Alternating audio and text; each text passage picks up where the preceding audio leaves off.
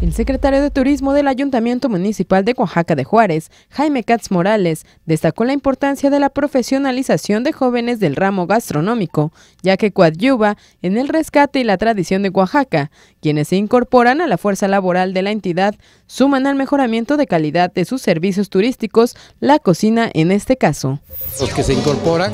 en el desarrollo de Oaxaca, bueno, pues es sumando con su esfuerzo y su trabajo en los centros gastronómicos de Oaxaca, ya sea dentro de los hoteles o restaurantes, para que Oaxaca pueda mejorar en la calidad de sus servicios turísticos, en la presentación de nuestros platillos y en la conservación de lo que es la tradición culinaria. Y de esta manera Oaxaca pueda ser cada día más competitivo a nivel nacional e internacional y podamos de esta manera pues tener el valor de la gastronomía oaxaqueña como uno de los elementos más importantes de promoción para Oaxaca.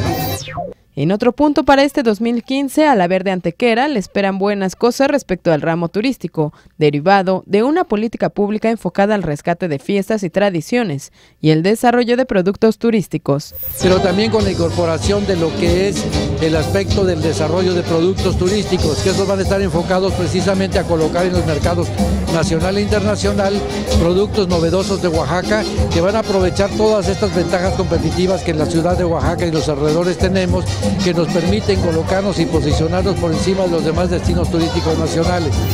Con la apertura de las carreteras que van hacia la costa e Istmo de Tehuantepec, se configura la oportunidad de ofrecer a nivel internacional un nuevo producto turístico que combinará la cultura de la capital con la costa oaxaqueña, pero para ello se tiene que seguir en la profesionalización de los servicios. Este es algo que no habíamos incursionado por la distancia que nos separaba de la, costa de Oaxaca. ¿no? Entonces yo creo que Oaxaca tiene pues, un futuro muy promisorio. Desde luego es muy importante que no nos confiemos si nos echemos a dormir, tenemos que trabajar muy fuertemente en el mejoramiento de la calidad de los servicios para que Oaxaca sea un destino no solamente con una gran cultura gastronómica, sino sea un destino con una calidad gastronómica y de servicios. Para MBM Televisión, con imágenes de Alan Ramírez e información de Celestino Chacón.